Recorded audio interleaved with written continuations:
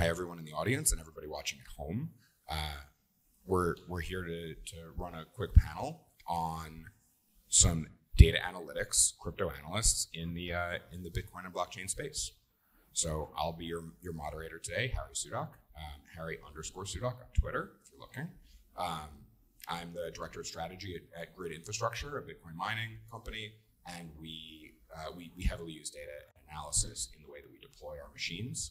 Um, with us today, we have Ria from Circle. We've got Tom from Delphi, and we've got Steven from the block at the end. Um, so if you guys don't mind, would you kind of go down the line, give us a little a little overview of what you what you work on and uh, a project that you are either researching or writing about currently?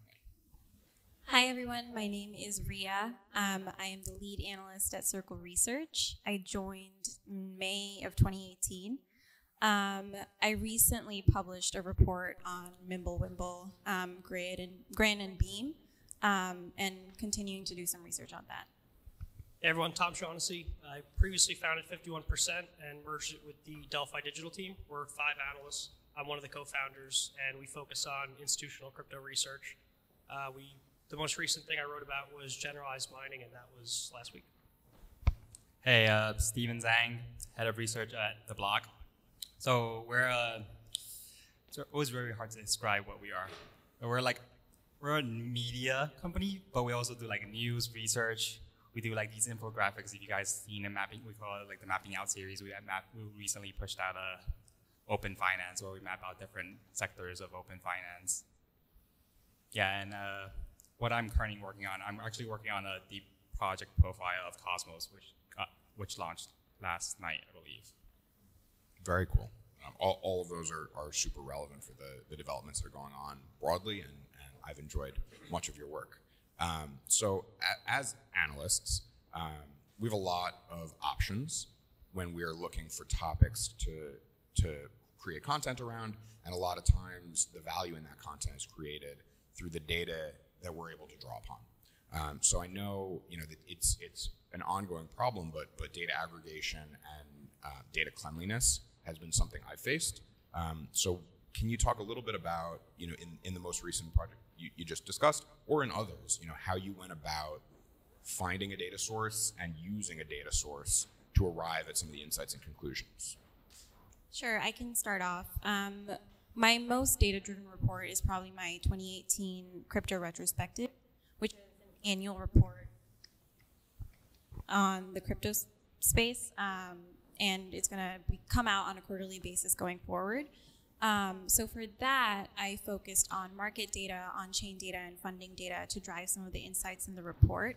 Um, some of the challenges that you know you come across with data in the space is that the metrics that we traditionally use to analyze uh, traditional financial assets um, are, are somewhat misleading in the crypto space. So in order to paint a really complete picture of what's going on, you have to pull um, you know, a bunch of different types of data and provide caveats around it in order to in, in order to paint like an accurate picture of what's going on. So for example, um, Coin Metrics has talked about this a little bit, but something like transaction count on Bitcoin is not fully accurate because it might not account for um, batched transactions. So, you know, in my research, I try to provide that caveat and provide additional metrics so that people really understand what's going on under the hood.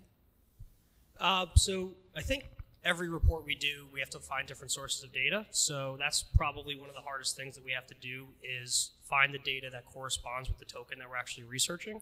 So we can't just go on Bloomberg Terminal yet. Um, sorry, in the crowd here. So you know, soon we'll have that we can use. But every token report that we do, we have to find a new source.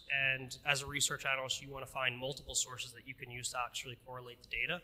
That's extremely hard to do in crypto because even if you're lucky enough to find two different sources, um, most of the time they won't have comparable metrics. So one of the good examples I give is I did a report on Decred, and a lot of the analysis on Decred goes back to hybrid proof of work, proof of stake.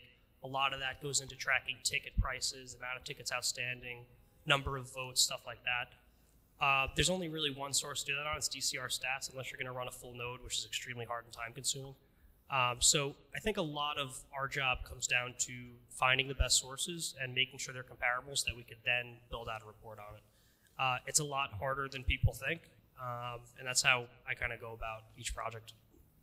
Right. So um, I agree to that point. Um, though, the, like the interesting part about the crypto industry is that it seems like a lot of people in the industry really likes to contribute these like open source like tools and resources to people, right? So like I've noticed while doing my research, we noticed that it was really hard to find these tools, and like if you need resources on how many how many ETH has been locked up in Uniswap, you don't know where to go, right? So like we've been, we, we've been slowly collecting a list of resources and tools that we've published on our site, so people can visit our site and visit, like if they're interested in finding Decred, we have like a few resources that are linked to Decred. Uh, But to that point, like most most projects can't run their own full nodes, so we we often have to rely on stuff like Coinmetrics. We have to rely that we have to hope that their their data is accurate, or we have to find multiple sources, which is often not available. We can some, sometimes you really just have to rely on one source, and you have to,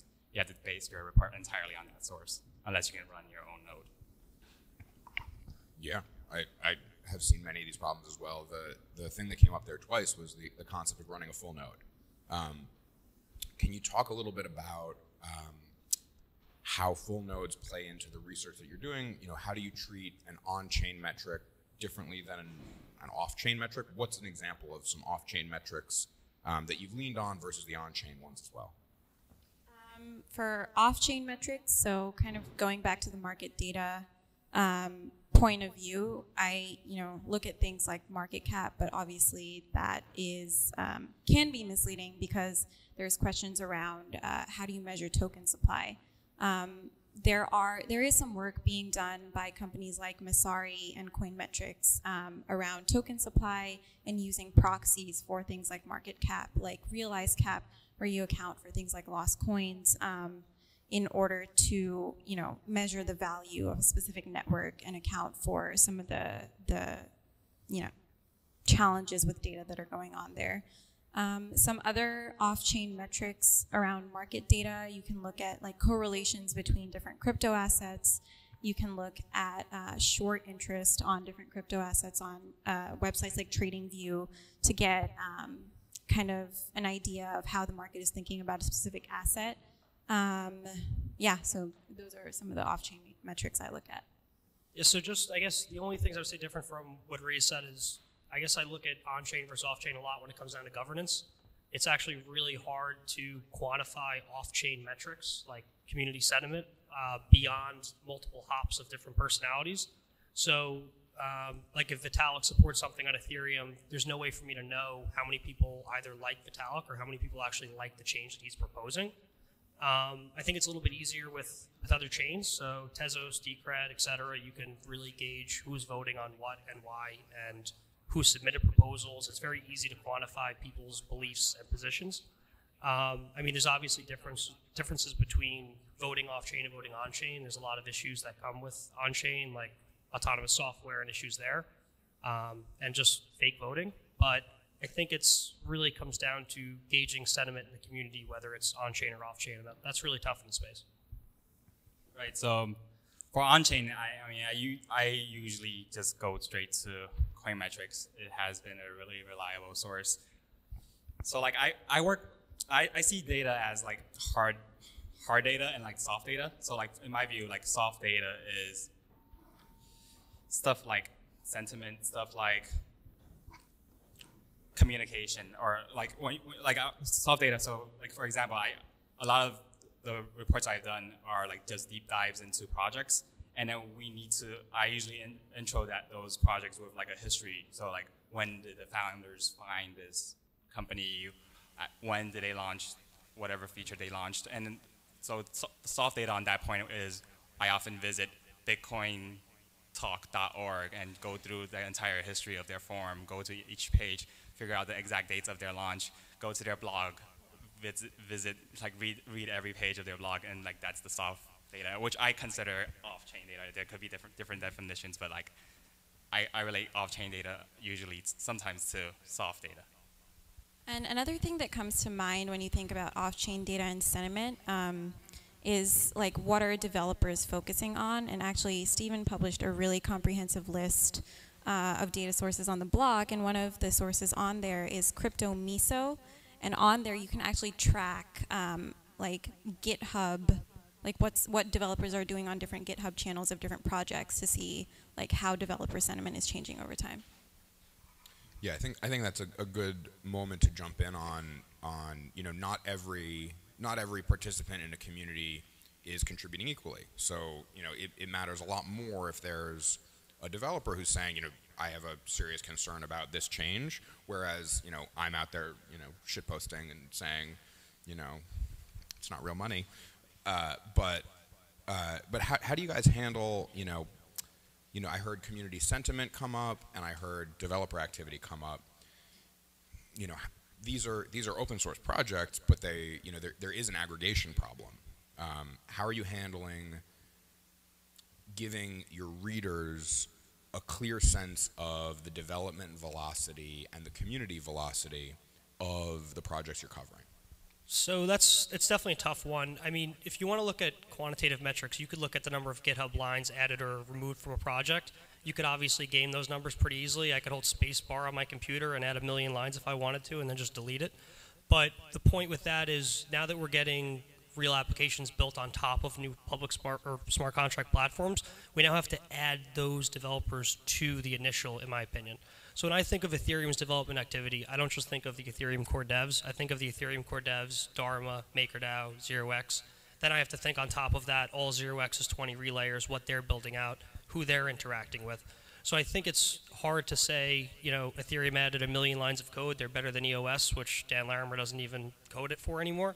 But the point is, I think we have to look at the projects being built, the value they're driving or locking up, and then what that's actually bringing to consumers. Yeah, and to that point, you can also look at like how the infrastructure around a specific project is evolving. Um, like, what are the for-profit businesses that are being built around some of these projects? Like, um, for example, with Bitcoin, you know, you have a lot of applications that, um, like for for-profit ap applications, like Lolli, which allows you to earn Bitcoin um, just buying stuff on retailers and Casa and stuff like that um, that are being built around uh, these ecosystems. Yeah, in, in, in the traditional M and A world, you know, if you're gonna if you're gonna go out and buy a business, um, there's a measurement called criticality. So how critical is this business? You know, let's say let's say I'm going out and I'm, I'm buying a CRM software. What's the switching cost for someone else to go use a different CRM? How, how critical is this business that I'm buying to all of its users? So I think that there is this this um, opportunity in crypto to be able to define a criticality metric, which which can be, you know, Ethereum is critical to you know to MakerDAO. How how much? How much activity? You know, can I can I apportion to the Ethereum chain? How much to the Maker chain? Do I add them together, or are they multiplicative? You know, if, if um, Metcalfe's law says that everything is geometric, you know, is every incremental user going to compound? I, I think the criticality point is a good one, but I think that a lot of crypto native people define criticality to crypto. So MakerDAO is really important to crypto. It's absolutely not important at all to the real world. So we need to make sure that when we talk about this in our reports that we make sure that we define what's important to crypto and what's important to the real world. The example I give with DeFi is DeFi is completely crypto native right now. There's no point for people in the real world to use it. Uh, but there will be a point if we're able to tokenize real estate and securities, and I'm able to use that collateral to back a MakerDAO loan. That's the links and the bridges that we have to make sure we describe because we have to remember that we don't have to convince the people in crypto about this stuff. We need to convince the millions of developers that aren't involved and the billions of people that aren't involved in crypto to get involved. Right. So, uh, agree to that. Uh, agree with that point. I think, uh, like every metric in crypto can um, any metric that you use to measure like the success of a project can be gamed, right? But I think security is one of the few that you can't game. So like how, how many hash rates or how, how much energy has mine, have miners contributed to your base blockchain. So like right now we know that Bitcoin is the most secure blockchain because we could literally see how many hash rates being contributed to Bitcoin.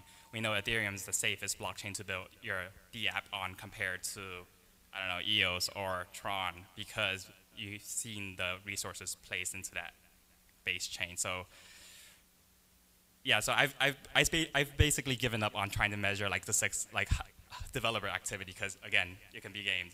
You you, you, someone uh, someone posted like a screenshot of of Tron contribute like contributed sources to sources to like so- Tron's like code source like main code source right? Like you can see like someone just like literally like edited a few lines and they that's considered a commitment to commit to Tron's GitHub. So like any of those can be gamed. You can't game value dedicated to a base chain I guess I want to come back to the security point. Um, and we're in my wheelhouse now. What uh, what do you guys do when handling, describing the security model for the for the chains that you write reports on? You know, how how does security factor into your research, to the communications that you write? You know, what's up with security? Um, yeah, I mean, security, when you're thinking about security, you first have to dive into what the consensus mechanism is. So that's probably, you know, the first thing that you have to analyze uh, for your readers and explain how you add security to the system. Um, and then based on that, you, you know, after that, you kind of go into how much power and value is being devoted to that ecosystem and how that compares to some of the competition um, that that chain or project has. That's kind of how I think about it. Yeah, so uh, two of my partners, Anil Lulla and Yan Liberman, wrote an extensive Ethereum report. They led it. It was shared all over Twitter. It's like 65 pages. And, and one of the points that they bring up is when we think about security is we also have to think about the yields. So Ethereum switching to proof of stake. Um, everybody thinks half a percent is great inflation rate. We think it's not that great. But the point is that inflation rate or issuance rate is a yield of, say, 10% if you only have a few miners and validators. We don't think that that's good on a security or decentralization aspect. So we need to make sure we interplay security with decentralization and think about it that way because if the yields aren't sufficient enough, we're not going to be able to attract the nodes and the miners, or not miners, but validators, to actually secure the chain. So that's something that we have to think about when we think about security. Yeah. So most of the projects that I've done reports on, they they haven't like launched, right? So actually, I guess, I guess like they've launched, but they haven't they haven't really been tested. Like the, so, the last project I've published a report on is Urbit, and they're doing like a they're trying to build like a personal server so so everyone can have like a personal. It's very it's very very weird. They, they have they use they use terms like galaxies and stars and moons. So like those like so those projects like I try to. You can't really like measure the security yet, right? Because you they just launched. You can, no one you no one has really contributed resources to securing the project. So uh, for most projects, I try to explain the consensus mechanism behind each project, and, and then try to list the pros and cons of each project I'm gonna I'm gonna totally jump gears and, and get back to because c- consensus mechanism is is really clear to the four of us um, and maybe many of you here and watching at home. But how do you handle education levels in your reports? You know, what do you what do you assume the amount of information the reader has? And and you know, you talked about the next incremental Bitcoin or blockchain user. You know, reaching that person for the first time and saying a lot of words they don't know probably isn't effective. So so what what level of comprehension do you assume going in? I assume that my readers have a basic level of comprehension. Um, I try and simplify it in a way that they can understand, but um, assuming that someone is a little bit newer and wants to learn about a specific report that I'm writing about, um, I try and provide links to other resources uh, within the explanation so that if they don't understand a specific word or um, the math behind a specific concept or mechanism, then I link to other sources that they can go to to dig a little bit deeper into that. Uh, so, I mean, we vary our report complexity depending on which product we have. Our biweekly thought pieces we keep kind of high level. You know, we describe the industry. Our 50-page token reports assumes that people are very educated on crypto and know what's going on. But just stepping back, I mean, if if the team itself has an issue understanding a project, there, there's like a 100% guarantee that the report's just going to fall flat. We need to make sure that if we don't understand a project, that we get educated on it we could explain it in, you know, under 30 seconds. Um, I generally will turn my back on a founder if they can't explain their project in 100 words or less. I mean, it's just fact. Yeah, same same with the block. So we have a wide range of projects, and the complexity uh, it really depends. So like our maps, the target audience is someone who have just entered the space and like heard of like open finance or decentralized finance and, and are wondering what that means. Our our maps are essentially like an infographic describing the projects in the space and giving one-line definitions direct links to the project's website explaining what that is. So like those are like super high level, targeted at people who are just entering the space. And then our our more data intensive or like deep project profiles, those we assume the reader understands the understands the majority of the terms used in the industry. If there are terms spe specific to the project, we will try to try to simplify it with like diagrams. So for Urbit, again, back to Urbit, I, I really love the project because I just did it.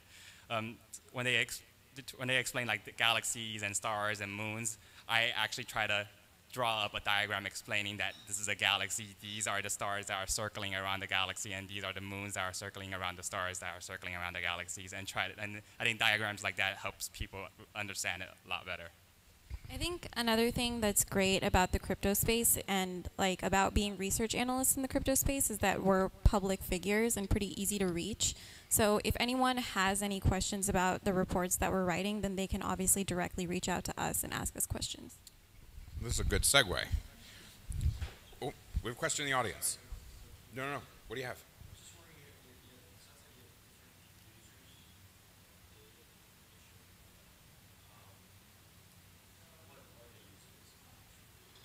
So to, to repeat the question back, um, the question is, it sounds like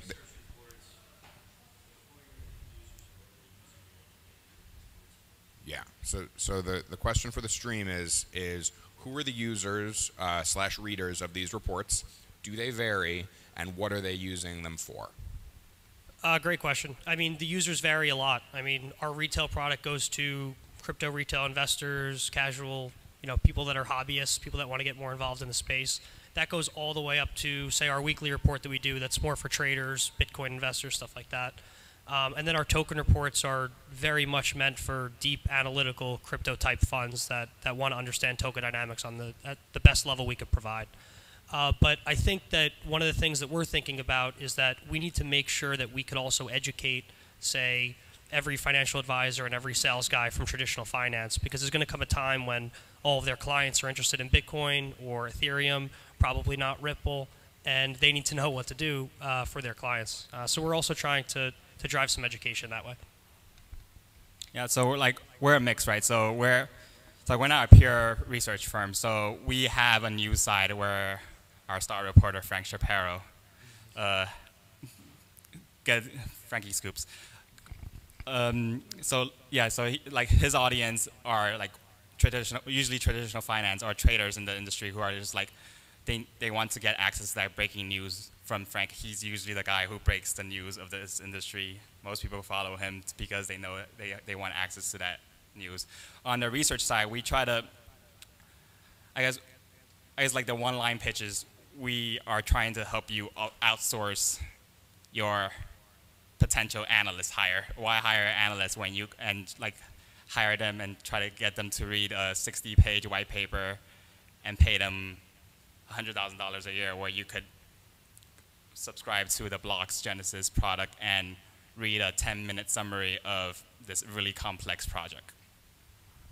I think for us, it's pretty similar to um, the user base that Tom outlined, but also because Circle has Circle Trade, which is an OTC trading desk, and Poloniex, um, one of the key motivations behind launching Circle Research was to create a value added product for those end users. So one more thing. I mean, one of the things that I love about Circle and what they do is, and what basically Ria does, because you run the whole research department, Ria, is they put out, or Ria puts out really good educational pieces on market structures and the players within those markets.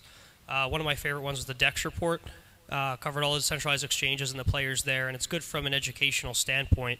Um, and it's good for the other players in the in the realm because if Ria is able to educate them, then you know we could help add some analysis on top, and it's a, it's a helpful layering there.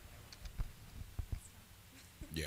So I think I think that you know that that's where we're that's where we're we're looking from an end user perspective. I think that the conversation very quickly goes from the reports that they're putting out to crypto Twitter right afterwards. So you know I'm curious about what what are the conversations like after the report is put out?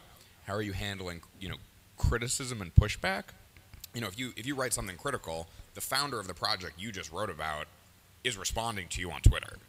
So you know, so I guess, and baked into that is is as well, you know, how do you uh, how do you handle primary sources versus maybe like a secondary data source? You know, are you are you getting access to the people who are building these things, you know, from from the ground up, and then where does that conversation go when it's back on Twitter? Um, so regarding the feedback and criticism, it, I'm pr- pretty appreciative of any feedback that I can get, um, and I think that the community is pretty open. And so far, um, the the way that feedback has been communicated to me has been very constructive.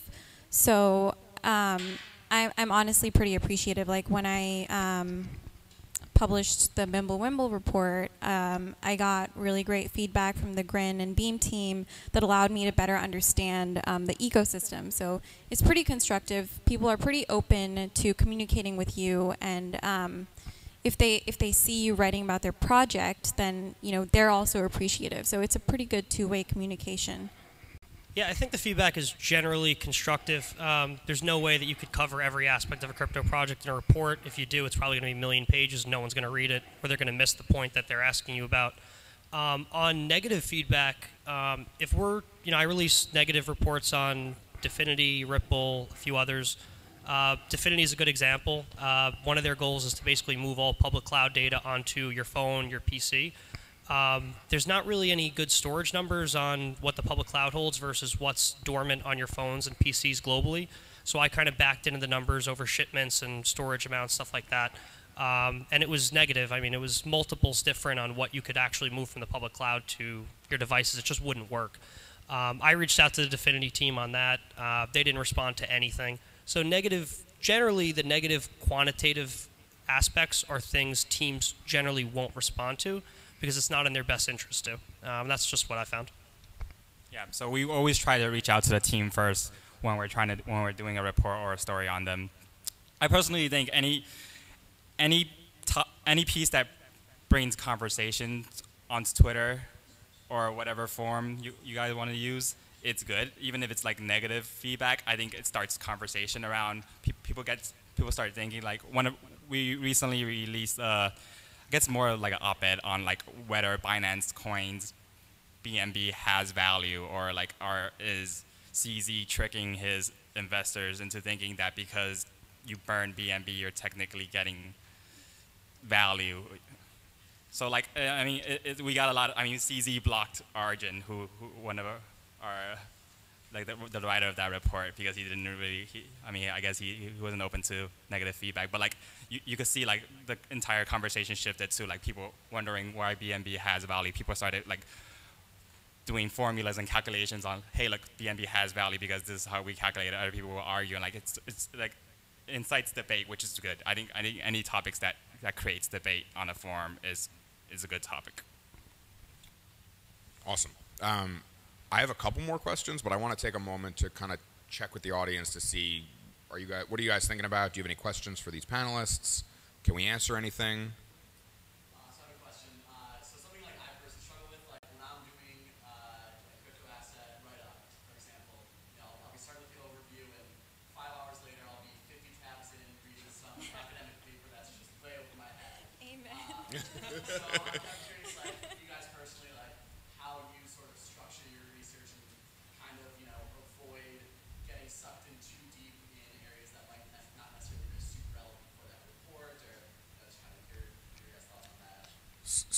So, just to repeat the question for the stream, uh, the the paraphrase version is how much rabbit hole is too much rabbit hole, and how do you structure your research process to make sure that you're getting a, a broad enough cover level of coverage, but you're not going too deep where you lose your mind. Um, I think one aspect that plays in really well here is you have to be viciously targeted on what you're doing and what you're researching. So I'll literally focus solely on 0x for six hours and turn my phone off and make sure I'm not on Twitter or answering any emails. Um, occasionally, I'll come back up for air and realize that the academic paper I'm 74 pages into isn't worth it and I should back up again. But you have to really brush off at a very fast manner things that aren't relevant to what you're working on because there's just too much information and a lot of it's not value add.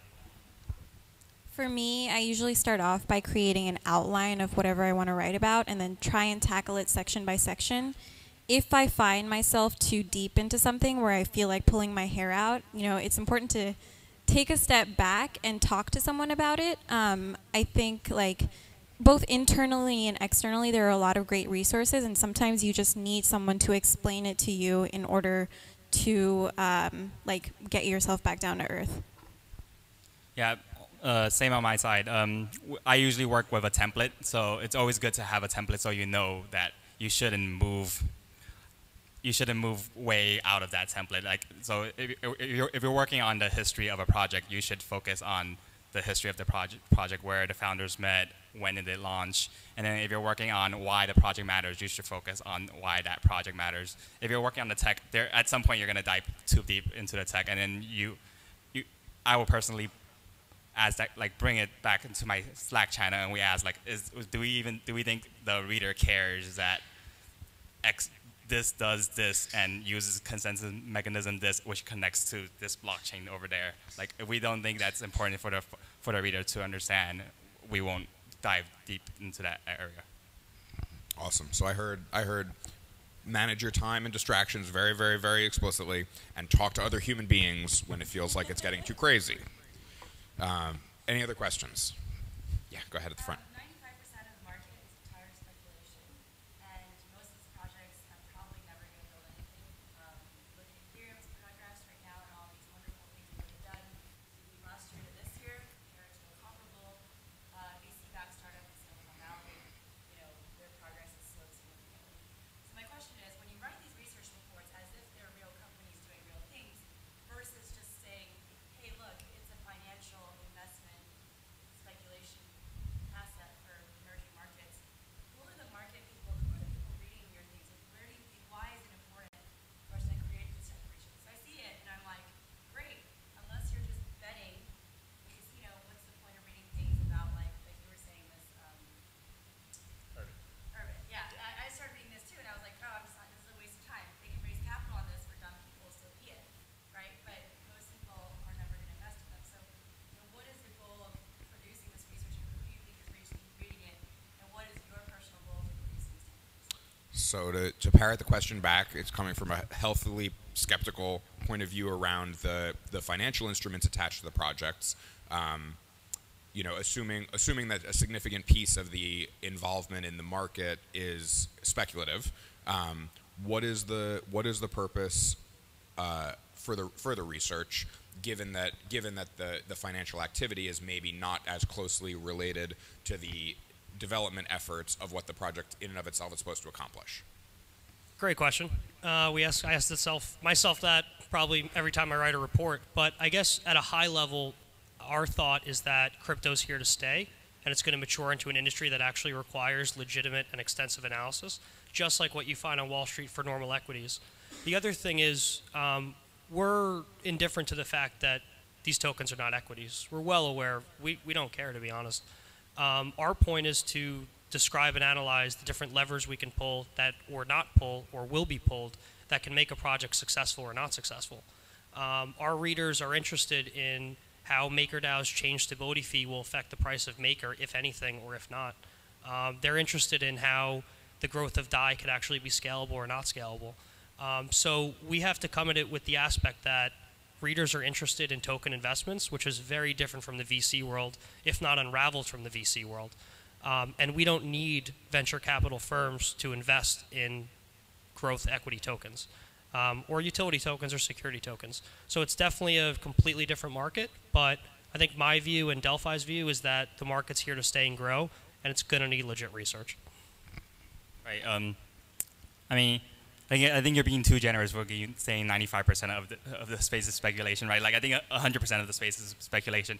But even even to that even to that end, like you don't have to be an investor to want to learn about a project, right? Um, so like you don't have to have like it, let's compare it to equity world. You don't have to have investments in Apple to want to learn to read a, a biography about Steve Jobs. You don't you don't have to have investments in Amazon to read the everything store. Like people, I think the the, the good thing about this space is like people want to learn. People want to learn about these complex projects. People want to learn about governance systems and like see so like I mean, the, the, the thing that attracted me to this industry is like you can literally see economies forming from like a literal like infant stage, and you can see slowly the, the economy of Bitcoin evolving, civil wars happening. Like you, it's like literally history and economy growing, and it's like at a rapid pace. You don't have to wait hundred years to see civil wars between different communities, people following people who believe they're Bitcoin Jesus. It's like it's, it's so fascinating. I think people want to learn. People want to get educated about the space. People want to learn about the people, the players in the space. Yeah, just to piggyback off of Tom and Steven, um, I think the assumption that we use when approaching research or when thinking about research is that people are interested and they want to learn more. And when you look at the crypto space, there's still no standard way of, you know, learning about a specific project. There is no like they're not required to consistently um, inform the market about what they're doing, and resources are really fragmented. So the value that we add is aggregating all those resources and painting a really complete picture of what's going on with different projects or with the industry as a whole. Yeah, I, I'm going to jump in on this one too, because I think it's really interesting. Is, is that you know if you look at and let's go back to equities again. You know, if you look at the the you know market cap weighted you know top 10 companies in the S&P 500, none of them existed in 1995. They just didn't exist, and they all use the internet, and they're all the most valuable things on the face of the earth, allegedly these days. Um, and so, you know, we've, we've, we live in a world where things are demonstrated that a sea change can happen in an instant, and it matters to pay attention. Um, so, you know, these are the folks doing the work paying attention. Um, and I, I think that, you know, we're, we're dealing with something that has a big enough lever to really, really matter at the global scale. Um, and so, you know, it, I'd, I'd, I'd always rather take the crack at learning about it than not. Um, even if the vast majority is speculation or is vaporware, um, the stuff that isn't is worth it. The other thing think about is back to Ria's point on information sources. I mean, there's absolutely no information on a private VC-backed company that I could ever get access to, right? I can go on Maker Tools right now and have complete information of the whole system at any second of the day. So the information flow is more and different, but it's completely different from the, the VC world in the past. And even if, uh, just to quickly end this thought, uh, even if a lot of these projects don't exist like five, ten years from now, just through reading the research that we're writing, you learn so much about the technology, um, monetary policy, economics, governance. That's definitely going to help you learn about the projects that do exist uh, five, ten years from now. Go ahead.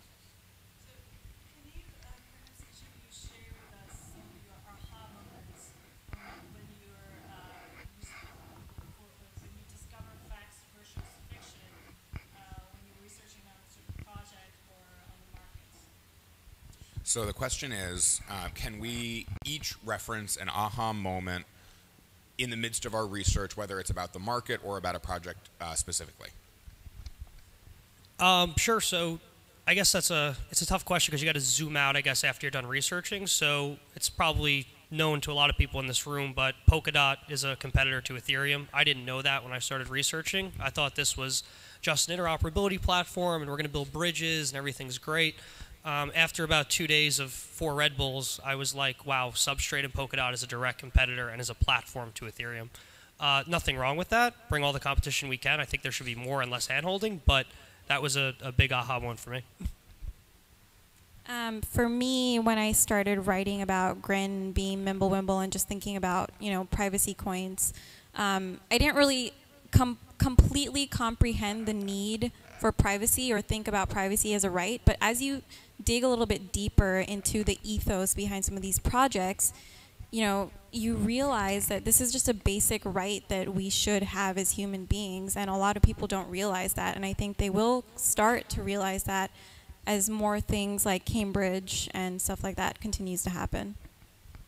Right. Um, my my aha moment came less from my research and more of like, so originally our majority of our team were either Bitcoin maximalists or pure no coiners, and like we never had like this guy who was like super bullish on ETH. And then when we hired Mateo, who's our like ETH like he gave like he was my aha moment was like, wow, Ethereum might be building something cool. Like decentralized fi- decentralized finance is it's a pretty cool product to be to like release onto the world. So that like that's my aha moment. I think it's like it broke my bubble, basically. My my aha moment um, is that scarcity is provable. So you know, like I, I like the the gold example. So in theory, we can go, you know, mine more gold on an asteroid, more gold than we have on the whole planet. And so I think that these assets are so interesting is that the the, the physics works. So so this scarcity that we're that we're dealing with is is actually real. Um, and there's no black swan that can tell me, you know, there's more of it. Um, at least not in a way where I wouldn't know it.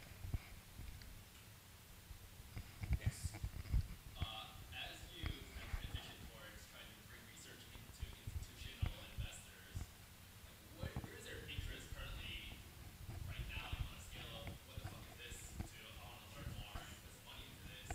I know you spoke about crypto funds, but for me, I have a background as, as a research analyst, and at first I, I literally could not understand this space three years ago. It's like, none of these things have a business model outside of token appreciation, um, except in Bitcoin.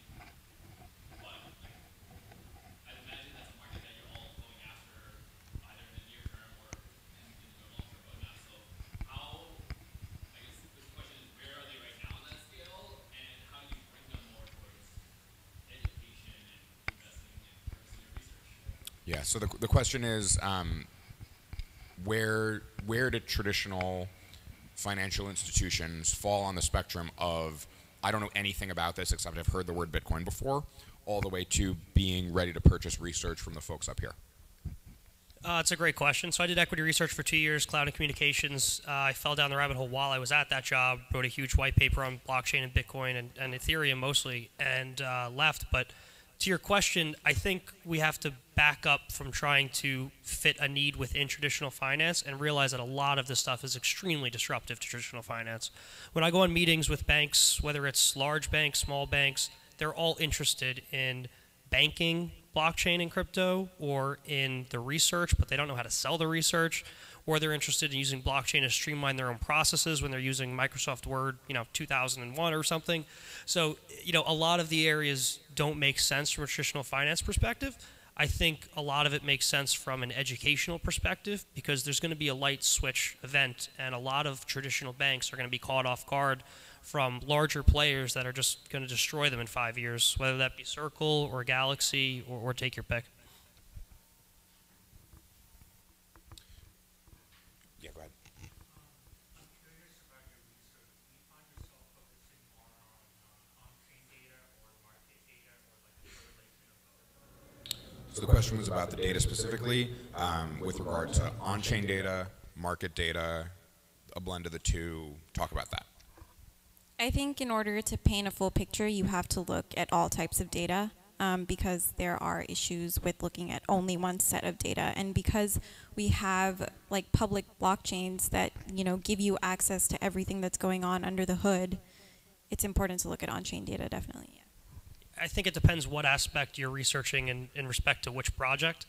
Um, off-chain data or off-chain data, but off-chain sentiment and soft data is really valuable when you're trying to judge um, developer uptake of a project, developer interest. You know, am I going to build on Tezos or am I going to build on Ethereum? That's extremely important to me. I want to know why. I want to know, you know, what are the benefits of using Michelson and OCaml over coding on Solidity. Um, talking to five developers goes a long way. Uh, seeing the the apps built on Ethereum versus the apps on Tezos is a big deal too. But going the next mile and realizing, okay, OCaml might limit the amount of developers I get, but you can get some really smart people to build enterprise-wide applications on this, and that could obviously have a zillion users. So I think you have to really go multiple levels when dealing with off-chain data versus on-chain data because it's all subjective. right? It really depends on like what what are what you're trying to do, right? So if you're trying to if you're trying if you're trying to figure out who the hell is paying two hundred fifty thousand dollars for virtual LAN on Decentraland, I'm gonna do a few API calls to, to figure out what address is doing that. If you're trying to figure out what a specific project does, I, I'll do le- you, you do less on-chain data. You, it's it's more more of like that soft data move where you go interview the founders, interview people who have maybe invested in the project, go through their forms, go through their like history, communications, go, go on their Twitter account, try to figure out why they built their project. Any other questions? Yeah, go ahead. This is a troll question. Please. Trolls welcome. nobody on Twitter, so don't worry about it. Uh, what, what, what is the panelist's thoughts? Do you guys think John McAfee is going to have to eat his own appendage, or price prediction? So, so the question is, will will the the age-old McAfee bet of self-consumption come to pass? So, so embedded in that is um, is what are the price predictions? Uh, I'm always nervous to give these. Um, you know, so so do do you have a time frame? You think? 2020. Okay. Okay. So over under half a million by 2020 with a with an opportunity to give something more specific if you'd like. I mean, I think it's irrelevant. I think it was just a marketing ploy to get followers, and he got a zillion out of it, and good for him. That's it. Yeah, I mean, I think price predictions is just shooting yourself in the foot at this point. As you said, it's all purely speculation. So, I mean, long term bullish. Yeah, uh, I believe the price is be- below the trend line. I think there's like a data source that tracks that trend line of whether he eats his, you know what.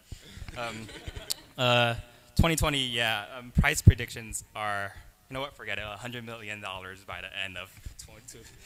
yeah, so like, price, it, does, it doesn't really matter, right? Long, super long-term bullish on Bitcoin.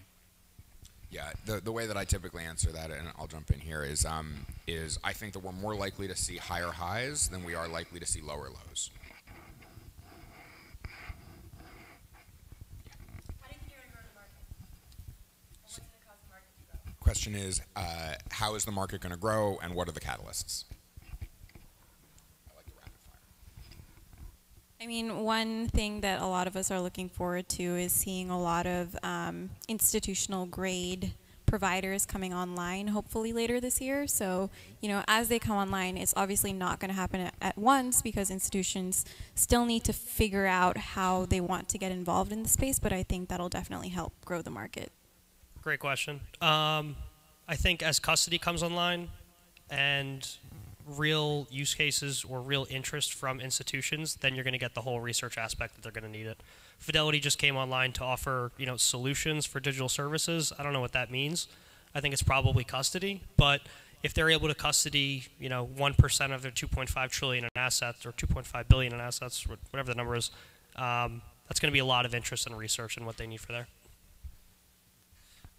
So, so I think the the way you grow this market is to make people realize they need the product, right? So the way Bitcoin becomes a pu- like the dominant store of value is because you, you need people to believe that it's a dominant store of value, and how do you make people believe that? Um, I don't know. Maybe China decides that they won't, they're gonna go after every single billionaire in the country, and and then these billionaires realize that you can't transfer. The, wh- what happens when your bank account's frozen? What happens when y- y- what happens when you try to move like 50 tons of gold through the airport? You, you know, you can't do that. So like, there needs to be that trigger that makes people realize that this is something valuable. That this is like I could literally carry a million, hundred million dollars in my head through a brain wallet and travel across different borders. I think the other thing is it's widely known, but there are a lot of UX challenges with the industry. Uh, you know, it's very developer heavy and they're not really focused on UX and design. So as more companies come online that are focused on making it easier for users to onboard, um, you know, I think that'll be another thing that helps grow the market. Yeah, I, I think that I think that it's going to be inflation.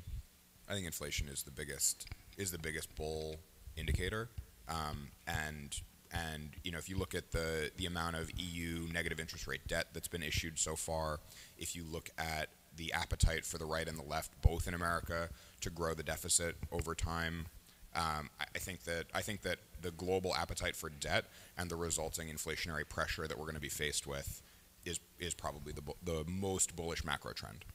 Uh, One other point there. On the flip side of this, because we sell research, we don't have to be bullish. Um, we could make a market out of just calling out every project that's illegitimate. Um, it's a race to the bottom, which we wouldn't want, but that's also a market for us as well. Next question.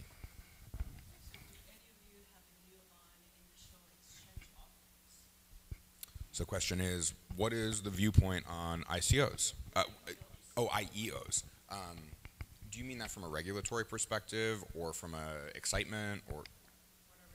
Okay, so feelings on IEOs, initial exchange offerings.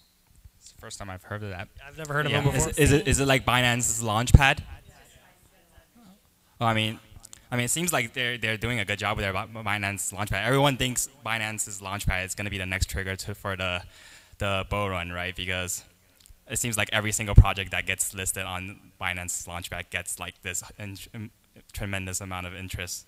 Like, yeah, like Justin Sun bought BitTorrent for like what a hundred million, a hundred million dollars, and then he sold the token on through Launchpad, and he got like I don't know six hundred million. I I'm throwing out numbers here, but like he got he got a good return on his investment. Uh, thank you for the quick definition. That was helpful. Uh, an, an ICO on an exchange, I, I don't think that solves anything. Um, that just makes it easier for consumers to buy a potentially terrible token. Um, I don't think consumers have an issue creating liquidity for bad projects today. There's a million out there. So I, I don't think that helps the ICO market or crypto at all, to be honest. Yeah, I mean, I think it'll still come up against the same regulatory challenges that ICOs are facing. So. Yes, I have two unrelated questions. Uh, the first one is just kind of interested in the process for how you guys decide what you want to write about and where you're going to pick a topic. Are there any like indicators from the community you're picking up on? And then my second question, uh, crypto Twitter is a rather small place, and there's a lot of um, memes, like not just images, but type ideas like the boom is going to come with institutional FOMO. Like there's a lot of things that are just repeated. Interested in what you think are kind of like the most insidious uh, memes, like the most misinformed memes that are going around. Two part question. First question was uh, how does the topic selection process go? Second question is back to crypto Twitter. What are the what are the most um, what are the most uh, misinformed memes, unsubstantiated popular memes? Uh, me and the five guys have a cage match, and you know the last man standing gets to decide. No, um, it's really hard to pick a topic to cover. Um, you not only have to pick a topic that's relevant, you have to pick a topic that's either extremely misunderstood, uh, coupled with that's actionable, coupled with that has enough liquidity for people to invest in, coupled with you actually have enough information to cover it. It has to be live. There's a lot of check boxes that have to be checked, and even then, you never have all of them. Uh, good example is uh, Grin and Beam. Uh, Ria covered it recently. I wrote a report on them a few months ago. Um, they were extremely hard to cover because it's two teams that are one's open source, one's a company, but other than that, both weren't launched. So it's really hard to pin down. Uh, even a, you could cover the reports to the T, but they're all white paper until they're launched at the end of the day. Um, on memes, uh, you know, ETH is immutable. That's one. Um, Anthony's laughing in the crowd. Um, you know, um, the other one would be uh, Ethereum full node is four terabytes. That's an annoying one that we see a lot. Um, yeah, I guess that's all I said. Uh, for me, I usually keep a running list of things that I'm interested in based on conversations on social channels like Twitter and Telegram.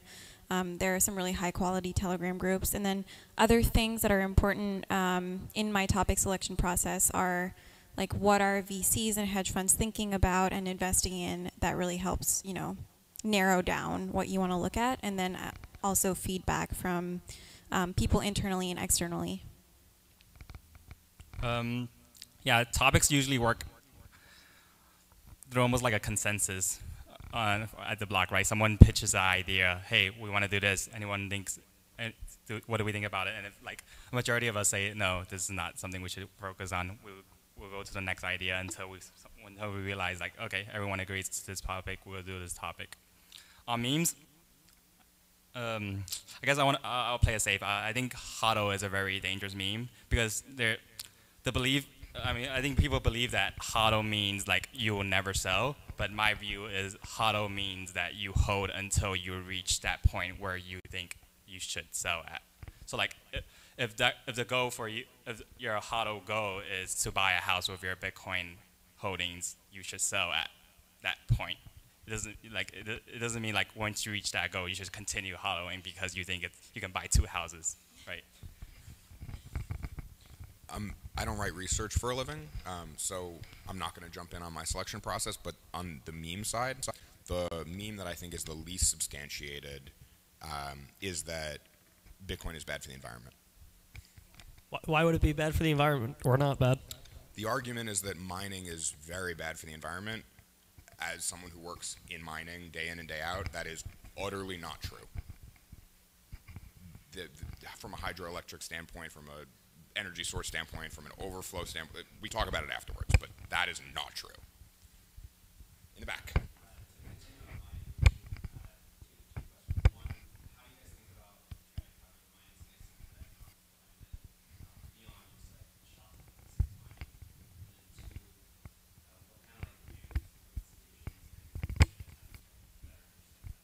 Say it one more time. The second part.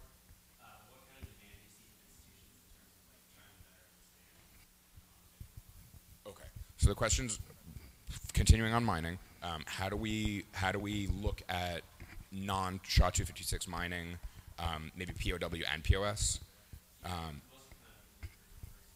but gotcha. So so, non SHA 256 POW mining, um, and second, is there an interest level from the institutional folks, specifically around mining and understanding it slash maybe investing in it? It's a great question. Um, to be honest, it's not something we've really covered yet. Um, it's definitely a great topic to look into. Uh, I think there's a lot, lot more interest now on getting away from mining and on proof of stake. How much does it cost to be a validator on Tezos or Ethereum or Decred on staking, even though that has mining as well? Uh, what are the costs? What are the yields? Do the economics for Serenity actually make sense? Is there break evens? Uh, we have a lot of issues with Ethereum 2.0 just for this reason on what a validator could earn on a yield ratio. Uh, so we've definitely focused more on the proof of stake side than the proof of work side, but it's a good topic. On institutional questions, um, we haven't seen that many, to be honest, beyond a traditional bank being interested in, say, NVIDIA or Bitmain's IPO. Uh, but from a data center perspective or an infra- infrastructure perspective, uh, it, it could play in. But you know, I was speaking with Harry before. I used to cover or co-cover the the fiber providers, Zayo and Equinix, et cetera, the data centers in my last job, and there's not a demand for bandwidth, lit or lit or dark fiber. It's very throughput, less intensive. So it really comes down to electricity, opex, and capex costs at the end of the day.